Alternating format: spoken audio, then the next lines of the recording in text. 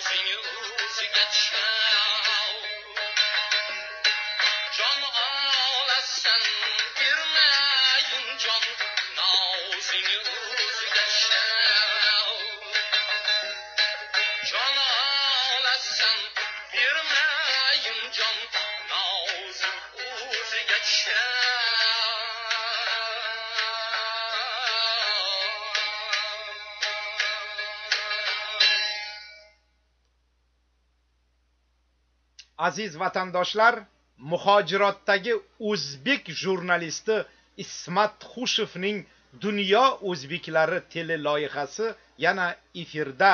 Mehribon va rahmli olloh nomi bilan bismilloh deb bugungi dasturimizni boshlaymiz. Assalomu alaykum. Bugun birinchi may ikki ming o'n to'qqizinchi yil. Ona vatanimiz o'zbekistonda chorshanba kuni boshlandi. Hozir ertalab soat o'ndan o'n besh daqiqa o'tgan mana shu muborak damlarda biz sizni olis kanadaning toronto shahridan turib muborakbod etsak ne tong. Birinchi may xalqaro birdamlik kuni. Bayramingiz muborak bo'lsin aziz vatandoshlar. Sovetlar davrida tug'ib tug'ilib voyaga yetgan biz avlod uchun birinchi may bu mehnatkashlarning xalqaro birdamlik kuni. Har qalay biz bayram qilib bir birimizni tabriklasak buning hech aybi yo'q. Tinchlik totuvlik birodarlik tenglik tamoyillari bayram qilinajak kun bugungi kun. Butun dunyo mehnatkashlarining birdamlik kuni hamdamlik kuni. Bir biriga malhamlik kuni bu. Birinchi may kuningiz muborak bo'lsin. Yuzlaringni mayliga yashir.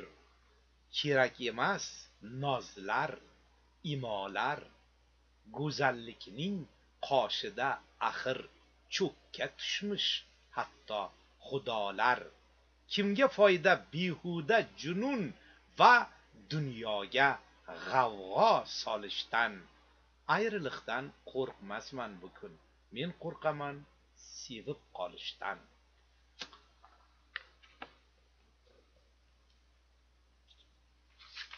Xayr endi qalbimda bir vido qoldi. Xayr endi sen ketding. Begunoh ohu. Bugun sen qaydasan? Qaylarda qolding? Bugun bosh ustingda kimning panohi? Seni kech topgandim erta yo'qotdim. Qarg'agin loyiqman sening qahringga. O'zgalar qalbida qadr uyg'otdim biroq yetolmadim o'zim qadringga. O inson qismati bunchalar chigal bunchalar buyuksan vafo shevasi.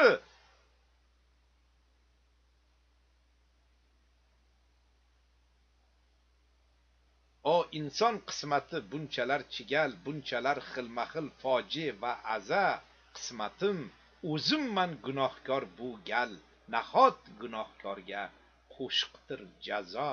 Xayr endi qalbimda bir vido qoldi. Xayr endi sen ketding begunoh ohu. Bugun sen qaydasan qaylarda qolding? Sen bugun kimlarning ma'sum hamrohi? Qaysi bir odamning baxtiga yorsan? Ochildimi senga tole darchasi? Bugun sen kimlarning mehriga zorsan? Mening yuragimning majruh parchasi. Abdulla oripovning hamma she'rini yod bilganim uchun men kutilmaganda ayol she'riga o'tib ketib qolibman chunki satrlar bir biriga juda o'xshash o'tli va jonli satrlar mening xayollarimni parishon qilib chalkashtirib yuborishiga sal qoldi. Birinchi may kuningiz muborak bo'lsin aziz do'stlar. Abdulla oripovdan boshladik demak yaxshi davom etadi bugungi dasturimiz. Aziz do'stlar bugun men sizlarga aytmoqchi bo'lgan juda ko'p voqea va hodisalar sodir bo'lmoqda o'zbekistonimizda va dunyo o'zbeklari ijodiy sahifasida nashrida va ismat xushov bilan yuzma yuz tele dasturida demak sizga aytmoqchi bo'lgan eng muhim haligilardan biri bugun hop bugun gulora oripova ismli bizning muxlisa opamizning rayhona ismli nabiralari tug'ilgan kun ekan. U kishini biz bu nabiralarini tug'ilgan kuni bilan tabriklaymiz. Rayhona ismli nabiralari baxtli saodatli hayot kechirsin va u kishi bizni birinchi may bilan tabriklagan ekan biz ham u kishiga ayni ezgu niyatlarimizni yetkazamiz. Demak birinchi aytmoqchi bo'lgan gapimiz agar eslaringizda bo'lsa bizni demak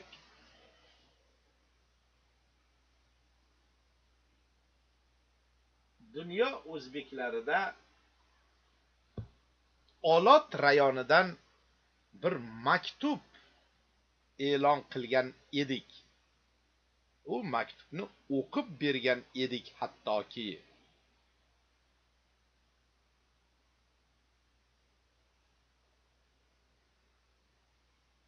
Demak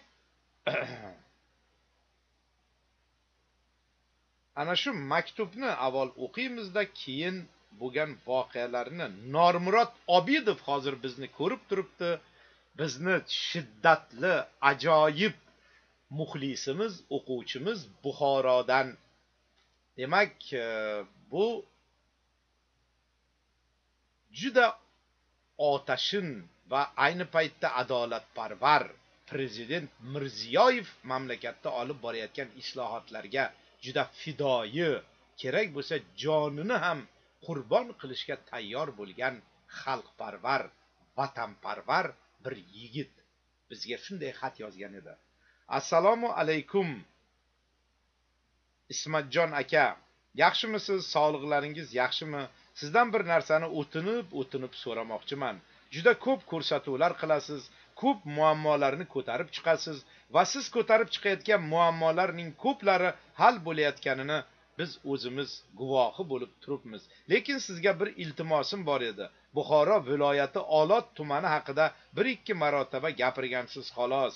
Lekin olot tumani respublikamizning eng chekka rayoni hisoblanadi. Olotdan keyin turkmaniston boshlanib ketadi. Keyingi yigirma yetti yil davomida olot tumani to'liq rayonga tupik rayonga aylanib qoldi. Chunki buxoro shahrigacha yetmish kilometr toshkentgacha yetti yuz kilometr. Men shu olot rayonini xalqi nomidan sizga murojaat bilan chiqmoqchiman. Olot rayoni haliyam eskicha tuzum qoidalari bilan yashab kelyapti. Sizga misol aytsam больницаga kasal olib borsangiz qog'oz qalami uchun ming ikki ming so'm hozir ham so'rab turishibdi. Aptekalarga borsangiz bir aptekada beshta dori bir yuz sakson ming boshqa aptekaga kirsangiz o'sha beshta dori sakson ming to'qson ming turadi.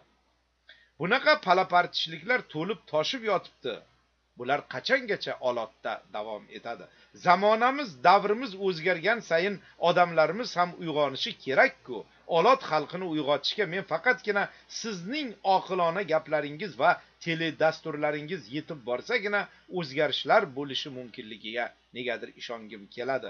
Shu ko'rsatuvlaringiz ko'rsatuvlaringizda olot tumani haqida ham xalqni uyg'otish uchun biror narsa gapirib o'tsangiz meni nomimni aytmay shu yozganlarimni o'qib bersangiz qanaqa bo'larkin? Sizga hali ko'p ijtimoiy siyosiy muhit haqida yozaman. Zora olot rayoni ham xalqi ham sizni gaplaringizdan so'ng uyg'ona boshlasa. Sizga buni yozishimga kecha otam onam больницаga tushgani va ukam больницадagi nosog'lom muhit haqida. Bu xalqimizga ham haliyam bu xalqimizga haliyam prezidentimiz gapirgan gaplarini qonunlari yetib bormagani turtki bo'ldi. O'zgarishlar bor deydi lekin judayam sekin. Hali sizga da dalil bilan gai xodimlari xizmatlarini hokimiyatdagilar xalq bilan qanday qo'pol muomala qilishini e, haqida yozib turaman aka. Assalomu alaykum ismatjon aka.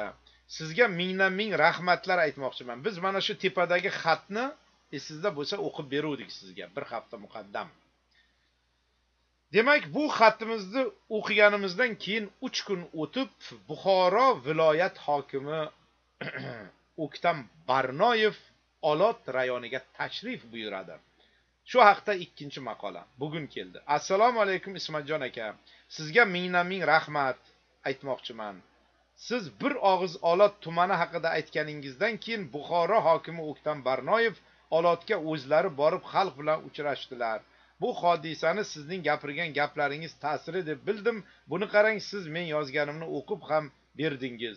Oradan ikki kun uch kun o'tar o'tmas buxoro viloyat hokimi butun viloyatdagi faollarini boshlab olotga olib keldilar va xalq bilan sayyor uchrashuv o'tkazdilar. Mana sizga Э, bizga kelgan bir e, muxlisimizni e, gaplari qanday xursand bo'lib bizga u o'z fikrlarini aytyapti rahmat aytyapti. Biz uning so'zlarini o'qib berganimiz uchun. Demak biz hozir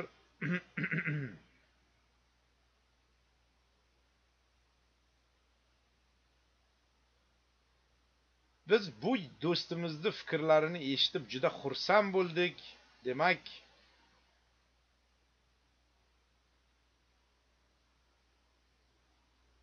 olot xalqi bilan uchrashgan viloyat hokimiga biz o'z minnatdorchiligimizni bildiramiz. O'ktam barnoyevga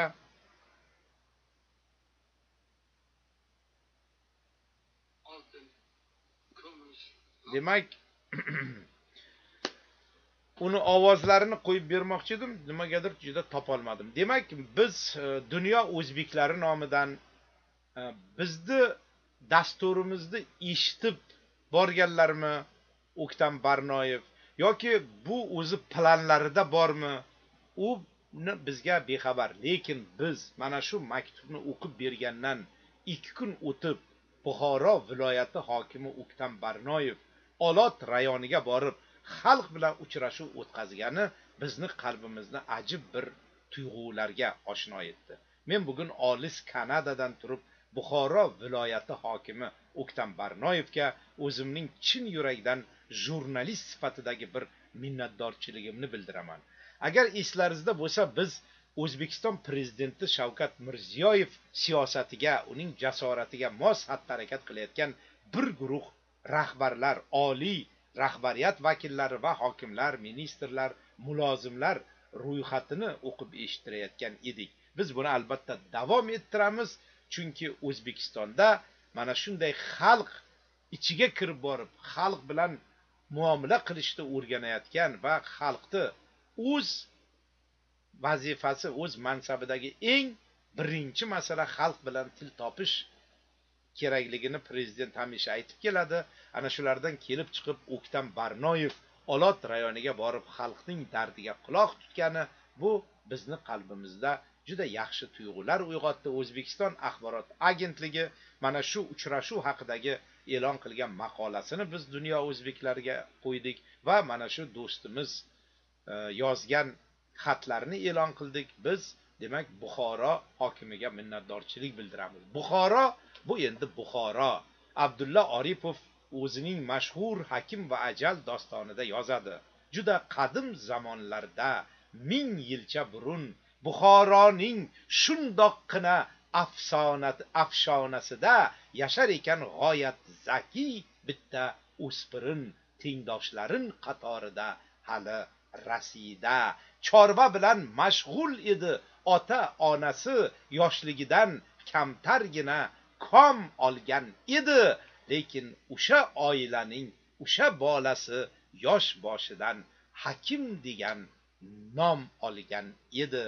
Bir narsada tanti yurur doim tabiat. Beray desa qaramagay usti boshingga necha necha saroylardan hatlab o'tgan baxt nogahoniy humoy bo'lib kelar boshingga deydi. Bu juda go'zal bir ajoyib man yaxshi ko'raman o'qishni. Bu hakim va ajal dostonining boshlanish qismi. Bu dostonni abdulla oripov e, chexoslovakiyaning karlovi vare kurortida dam olish правительственный dachada e, davlat va nima hukumat rahbarlari dam oladigan maxsus karlovi vari ikkiga bo'lingan man borganman. Birida oddiy odamlar putyovka pul olib dam oladi ikkinchisida davlat va hukumat rahbarlari o'sha sovet davrida e, borib davolanadigan e, kpss markaziy komitetini upravdelamisiga qarashli bo'lgan juda sharoitlari zo'r.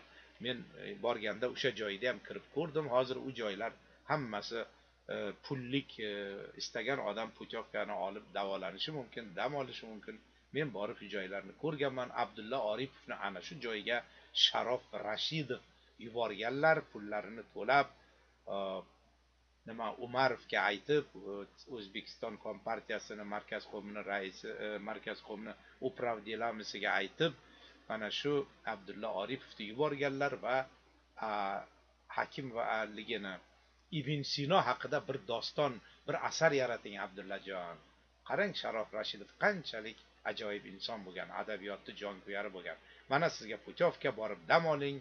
Tog'ni bag'ridagi karlovi varidagi archazorlar ichida o'tirib tabiat qo'yniga termulib juda ajoyib bir asar yozing degan abdulla aka mana shuni yozganlar va u kishi kelgandan keyin agar eslaringizda bo'lsa e, o'zbekiston kompartiyasi markaziy komitetining nashri bo'lgan o'zbekiston sovet o'zbekistoni gazetasida ikkinchi uchinchi to'rtinchi betlar to'la abdulla oripovni hakim va ajal dostoni e, bu doston adabiyotshunoslar uchun olimlar uchun aytmoqchimanki ular ham bilsa kerak abdulla oripovni bu dostoni sharof rashidovni topshirig'i asosida yozilgan bu doston ibn sinoni e, ijodiga va uning nimasiga qo'yilgan bir she'riy haykal bo'lib abadul abad o'zbek adabiyotida yashab qoldi. Men hozir sizga o'ktam barnoyev sharafiga buxoro hokimi sharafiga ana shu buxoro haqida afshonasi haqida afshonada tug'ilgan o'sha afsonasi haqida.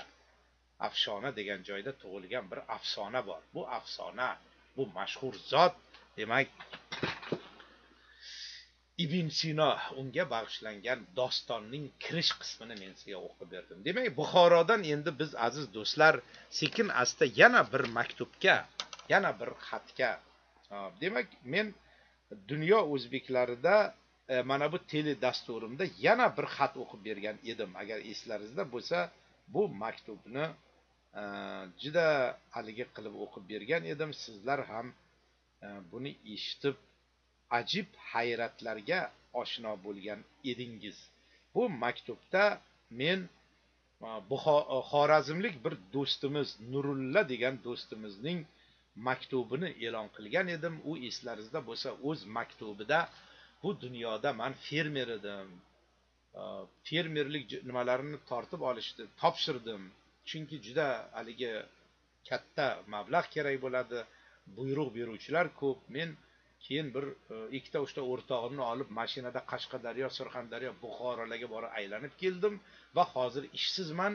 Ishsiz qolish dahshat ekan ismat aka. Man telefonlarim ham hattoki jiringlamay qoldi. Bu dunyoda ishsiz qolsang xotiningga ham uydagilarga ham hech kimga kerak bo'lmay qolarkansan. Tanish bilishlaring ham yuz o'girdi. Faqat telefonlarim onda sonda jiringladi u ham bolalarim telefon qilib dada yaxshimisiz deydi. Rossiyaga ketay desam yoshim bir joyga borgan. Ishsizlik yomon ekan ismat aka deb bittasi menga xat yozgan edi. Shu xatni yozgandan keyingi bo'lgan voqealar haqida yana bir xat keldi. Assalomu alaykum ismat aka. Xatimni saytingizda e'lon qilganingizdan keyin o'qib berganingizdan keyin menga moskvadan murodillo aka degan bir kishi telefon qilib uka keling moskvaga o'zingizga mos ish topib beraman dedi.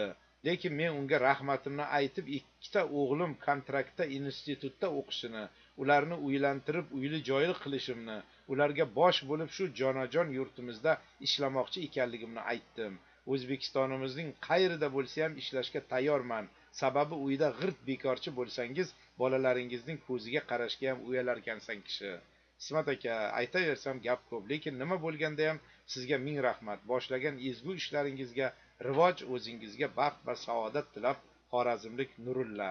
Xat tahrirsiz e'lon qilindi dunyo o'zbeklari. Redaksiya pochtasida mana moskvadagi murodillo degan bir ishbilarmon vatandoshimizga ming rahmat. Shu bizni dunyo o'zbeklaridan o'qib mana bu teledasturda o'qib berganimizni eshitib shu yoqqa telefon qilibdi keling man sizga yordam qilay deb. Mana ko'rdingizmi? Qanaqa ajoyib vatandoshlarimiz bor.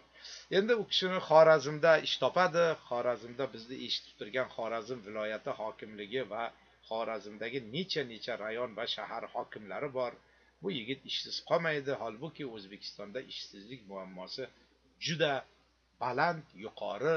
Bu muammolarni albatta sekin asta hal qilishimiz kerak. Odam ishlamasa u haqiqatdan uydagilariga xotiniga bolalariga ham yoqmay qolishi bu juda yomon. Puling bo'lsa hammaga yoqasan. Bolalaring ham dadajon deb atrofingda girdi kapalak xotining ham qo'ni qo'shnilaring ham do'stlaringni davrasida ham puling bormi sen demak mag'rur g'oz bo'lib o'tirasan. Puliyoqlar bir chetda mung'ayib o'tirishadi. Mana shunaqa hayot mana shunaqangi o'zini zigzaglari bilan o'zini mana shunaqangi bir g'alati intrigalari bilan hayot. Shuning uchun aziz do'stlarim men nurulloga e, omad tilayman. Bu ishsizlik uzoqqa cho'zilmaydi do'stim. Xavotir olmang. Hammasi yaxshi bo'ladi. Bizni eshitib turgan ahmed og'a karimov siz bu nurulla bilan bir muomala qilib aloqa tiklab qo'ying keyin man siz orqali u kishini topa olaman va u kishini albatta bir yaxshi bir joyga joylaymiz birgalashib xavotir olmang. Demak aziz do'stlar biz hammamiz bir birimizga yozilgan xatlar va yangiliklar haqida xabardor qilyapman sizni. Endi bu yerda yana bir e, nima bor? Man uni o'qib berishim kerak shekilli. Feruza olimjonova. Juda ko'p xatlar kelyapti. Bu xatlarni keling shu feruza olimjonovani xatini o'qib beraylik. Men bu xatni o'qib juda hayron qoldim. Feruza singlimiz yozadi. Assalomu alaykum ismat aka. Sizning video ko'rsatuvlaringizni doim ko'rib boraman. O'tkir qalamingiz va jasur irodangiz bilan nohaqlikka adolatsizlikka qarshi olib borayotgan kurashingiz bilan umidsizlikka tushgan men va men kabilarda juda katta ishonch uyg'otasiz. Firibgarlarga uchrab toshkent shahri yunusobod tumani ichki ishlar bo'limiga ariza bilan murojaat qildik. Bir guruh firibgarlar aldab ishonchimizni suiiste'mol qilib uylarimizga egalik qilishga erishdilar.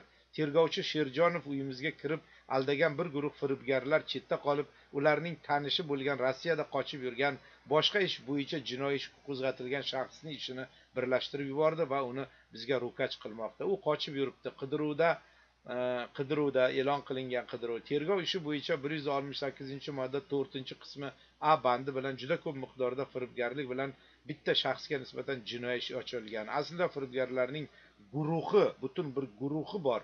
Va ularga qarshi ish qo'zg'atilishi lozim edi. Rossiyada qochib yurgan oripov orifov sarvar bizning uyga kirmagan. Bizning uyga kirib aldagan ayollar sodiqova muqaddas va mirzayeva nilufarlardir. Ularga nisbatan hech qanday chora ko'rilmadi. Orqamizda kuchli himoyachimiz bo'lmagani uchun jinoyat ishi to'xtatib turilibdi. Ikkinchi alohida xonadon egalari ikki ayol sizga yordam so'rab murojaat qilmoqdamiz. Ikkita xonadonni aldagan firibgarlar bir guruh shaxslardir. Jinoyat ishi ochilib ularga oldi sotdi qilishga taqiq qo'yilgan. Shu kunlarda majburiy byuro ijrochilari fuqaro suvda ikkila uy ikkita uy xonadon egalarini uydan chiqarish harakatida. Fuqaro ishlari bo'yicha oliy sud bir yarim oy muhlat berdi va bu vaqt ichida tergov ishini tezlashtiring deb tushuntirdi. ayni vaqtda bizni uyga kirgan firibgarlik yo'li bilan ikkita uyni o'zlashtirgan shaxslar bemalol ochiqda yuribdi. Qo'llaringda hech nima kelmaydi degandek suvdan quruq chiqamiz va degandek kulib yuribdilar. Haqiqiy firibgarlarni qonun oldida javob berib tergov ishini qonun doirasida tezlashtirishda yordam berishingizni sizdan iltimos qilamiz. Sizga hurmat va ishonch bilan alimjonova feruza va ergasheva zahro. Men telefonlari bor 97 751 15 33 men umuman bir narsaga tushunmayman singlim. Qanday qilib sizlar kap katta ayollar sizlar uylaringni qanday qilib bir tayini yo'q odamlarga e, sotasizlarda pulini olasizlarmi nima qilgansizlar qanday qilib shunday davrda ham sizlarni firibgarlar uylaringizga egalik qilishi mumkin? Men hech tushunmayman. Shunchalik ham sodda bo'ladimi odam. Umuman ijtimoiy tarmoqlar orqali tanishgan yigitlarga bir yarim ming ikki ming dollar bergan bir ayol manga bir paytlar dod deb telefon qildi. U yigitni surishtirdim tuppa tuzuk she'rlar yozib yurgan bir shoir bo'lib chiqdi. Man noqulay holga qoldim. Internetda siz mehr qo'ymang internetdagi mehrlar ular hammasi vaqtinchalik mehr va muhabbatga aylanadi. Qanday qilib internet orqali tanishgan odamga ikki ming dollar berasizda keyin ismat xushovga toshkentdagi prokurorlar qolib kanadaga murojaat qilasiz. Man prokuror bo'lmasam ikki ming dollaringizni qanday olib beraman sizga? Juda qiziq maktublar keladi. Mana hozir bu xonimlar menga ikkita xonim ikkita uyini e, firibgarlarga berib qo'ygan. Kulishni ham bilmaysiz yig'lashni ham bilmaysiz. Man tushunmadim. Shu uchun bu Э, xatni o'qib berarkanman. Albatta biz ichki ishlar vazirligiga tergovchilarga yunusoboddagi e, ichki ishlar bo'limini boshlig'i e, xayrullo sadullayev degan bir aktyorni o'g'illari u yerda ichki ishlar bo'limini boshlig'i bo'lib ishlaydi deb eshitganman. Yodgor e, xayrullo sadiyevmi yodgor sadiyevmi har har qalay bu masalalarda rasmiy idoralarga murojaat qilish kerak. Biz nazoratga olishimiz mumkin xolos. Bizni ko'rib turgan o'sha firibgarlar jilmayib kulib yursa ular ham e, noto'g'ri qilishadi. Ularni albatta qamashadi ushlab. Bunaqa firibgarlik qilib odamlarni aldab yurish davri emas hozir. Lekin meni eshitib turgan butun muxlis va muxlisalarimga aytmoqchiman. Bu ikkita xonimni boshiga tushgan firibgarlik aldovi sizni ham boshingizga tushmasin. Uyni oldi sotdi qilganda bir qonuniy hujjatlar va qonun idoralarini vakillari bo'lishi kerak yoningizda. Advokatlar boshqalar. Juda katta pul o'n besh yigirma ming kamida o'ttiz ming qirq ming dollar turadi bu uy. Odamni infarkt insult qilib qo'yishi mumkin. Haliyam bu ayollar yaxshi bir xat yozib menga yana bir muzika yuboribdilar bu kishi. Qoyil qolaman u kishini irodasiga va kayfiyatiga. Man qoyil qoldim. Qarang mana shuni yozib yana bizga bir ajoyib muzika qo'yibdilar qarang birgalashib eshitamiz.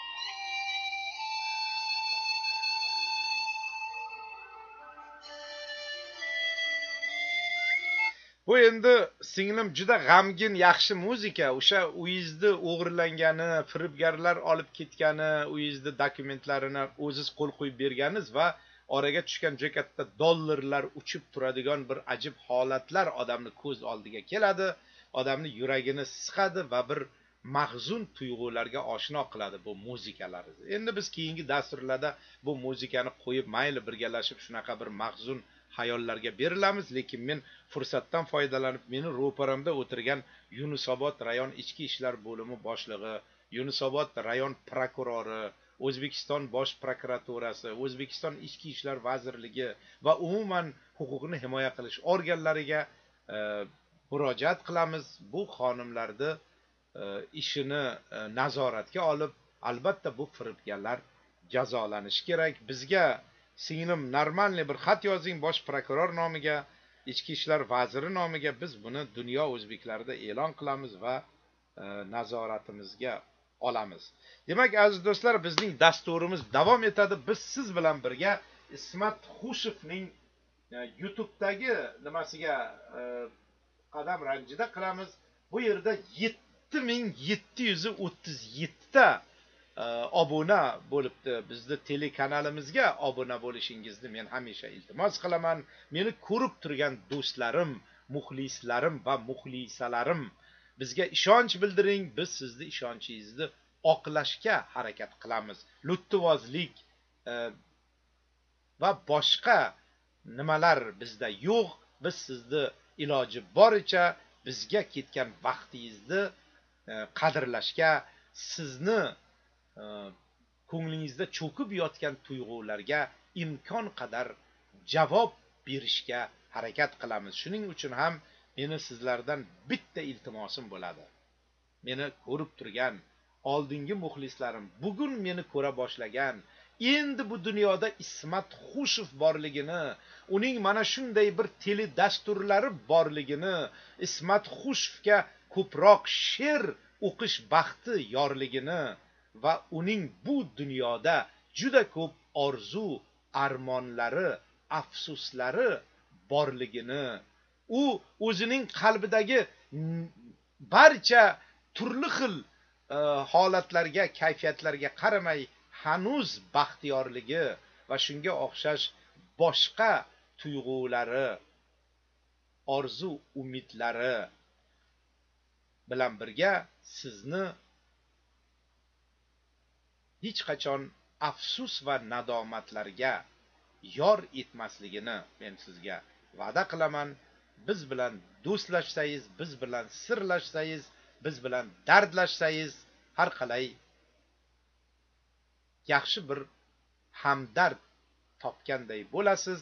Biz sizni sharmanda qilmaslikka so'z beramiz. Shuning uchun ham bir og'iz so'z bilan aytganda ismat xushev telekanaliga obuna bo'lib qo'ng'iroqchani bosib qo'ying. Qo'ng'iroqchani bosib qo'ysangiz har bir yangi teledasturim efirga ketsa sizga jiring jiring qilib dastur boshlandi degan xabar kelarkan. Qoyilmisiz bugungi texnikani rivojlanganiga? Aziz do'stlar demak biz sizga aytmoqchi bo'lgan asosiy yangiliklar mana shular. Demak e, biz bugundan boshlab e, rustam rasulovich inoyatovning siyosiy portretiga sharh berishni yana davom ettira boshladik. o'n yettinchi qismiga qolgan ekan kelib biz e, o'n sakkizinchi qismini berdik. Biz bugundan boshlab o'zbekiston qamoqxonalaridagi dahshatli fojialar haqida va bu qamoqxonalarga rahbarlik qilgan karimov davridagi kadrlar hanuz qamoqxonalarga rahbarlik qilib u yerda juda ko'p mahbuslarning o'limini uyushtirayotgani ularni kaltaklayotgani nimalarning topshirig'i bilan tergovchi va tepadagi ularni qamagan u yoki bu siyosiy guruhlarning topshirig'i bilan o'ldirilgan majruh qilingan qizlari ularni ko'rgani svidaniyaga borgan oilalari qizlari zo'rlangan holatlar haqida biz juda dahshatli nimalarga egamiz materiallar tayyorlaganmiz ancha bo'lgan men ularni hammasini e, shu o'qisam asablarim buziladi bir chetga olib qo'ygandim endi ularni biz bugun o'qiy boshladik. Bu qamoqxonani rahbarlari endi hushyor bo'lishi kerak. Biz bu ishlarni o'qib bo'lgandan keyin davlat xavfsizlik xizmati idorasi bilan o'zbekiston bosh prokuraturasi o'zi nazarimda bugundan boshlab ular shug'ullana boshlashadi. Ularning ko'pchiligi hanuz qamoqxonalarini boshlig'i va eng kattakoni bugun e, militsiya akademiyasida serjantlarga dars beradigan siklga rahbar ekanlar. Shodiyevmi kim u kishini familiyasi? Xullas hayot shunaqa. Qilingan har bir jinoiy xatti harakat uchun inson albatta javob berishi kerak. Boshqacha bo'lishi mumkin emas. Aziz do'stlar demak sizni ko'nglingizdagi savollarga imkon qadar javob berishga harakat qilyapmiz. O'tgan yakshanba kuni men beshta dastur tayyorladim. Har biri qirq besh ellik minutdan beshta dasturda ham men kelgan savollarga javob berdim. Har mana bu yakshanbada ham beshta agar kerak bo'lsa o'nta bir soatlik dastur bilan huzuringizga chiqaman. Birorta savolingiz ham javobsiz qolmaydi. Shu yodingizda tursin. Chunki juda ko'p muxlislar ismat xushev savollarga javob bermayapti deb mendan yuz o'girgan menga tamanno qilib labini burgan xonimlar menga malomat toshini otgan ukaxonlarim borligini man o'qidim sezdim. Ularning avval mehr muhabbat bilan yo'g'rilgan tillari keyinchalik nafrat va haqoratga o'tganini o'qidim ko'rdim ajib holatlarga kirdim. Shuning uchun ham men murojaat bilan chiqdim. Albatta biror savol javobsiz qolmaydi. Hamma savollarga biz imkon qadar javob beramiz. Faqat bu savollar provokatsionniy bo'lmasin. Bu savollar bizni e, asosiy mavzudan chalishtirib e, boshqa tomonlarga olib ketmaslik kerak. Lekin mayli qayerqa olib ketsa ham manga beravering mani hech kim hech yoqqa olib ketolmaydi endi. Biz endi bu hayotda juda ko'p narsalarni ko'rib o'zimizni ancha tutib olib e, har qanaqangi savol bo'lsa ham mayli menga beravering boshqalar aytishi mumkin menga bunday savol bermang deb. Lekin biz birorta savolni ham javobsiz qoldirmaymiz. Ayni paytda o'zbekiston oliy rahbariyatining bir guruh ijobiy fikrga ega bo'lgan mulozimlari haqidagi e, fikrlarimiz davom etadi ro'yxatlar o'qiladi keyingi dasturlarimizda har haftada bir martadan biz albatta mulozimlarga ularning faoliyatiga murojaat qilamiz. Bizni ko'rib turgan shoirlar yozuvchilar o'zingizga yaqin bo'lgan o'zingiz birga o'qigan o'zingiz yaxshi bilgan o'zbekiston oliy rahbariyati mulozimlari haqida senatorlar deputatlar haqida bizga maqolalar yozib yuboring.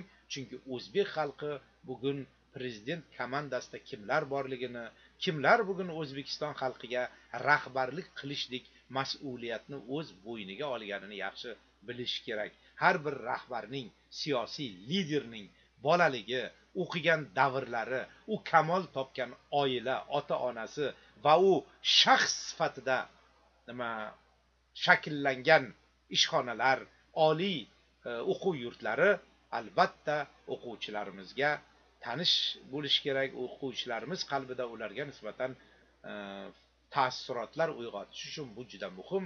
Ana shunday maqolalarga biz e, muhtojmiz. Bizga yozib yuboring.